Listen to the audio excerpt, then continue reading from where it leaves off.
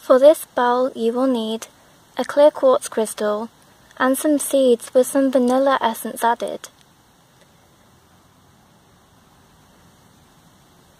To begin, sit quietly and take a few deep breaths in and out.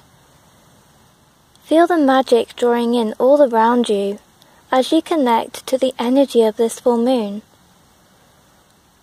When you are ready, hold the crystal in your hands up to the moon and say, Enchanting moon, please shine your blessings down on me.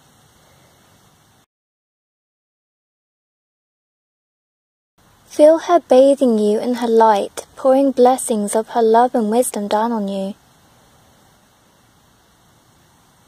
Then lower the crystal until it's diagonal with your heart and say the following.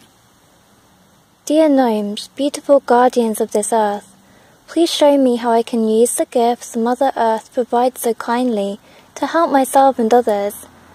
Please guide me to use these resources wisely and lovingly.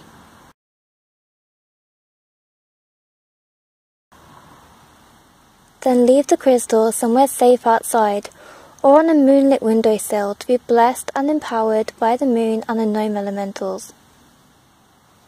Thank the moon and the gnomes for their help by holding the seeds and saying, Dear moon and gnomes, thank you for sharing your love, wisdom and healing energies with me.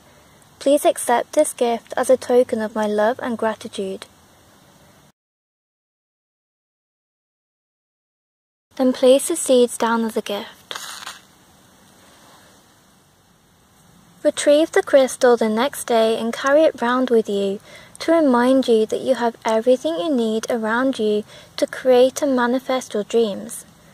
This crystal has been blessed with love and wisdom. It will also help you to make sure that all your actions are for your greatest good.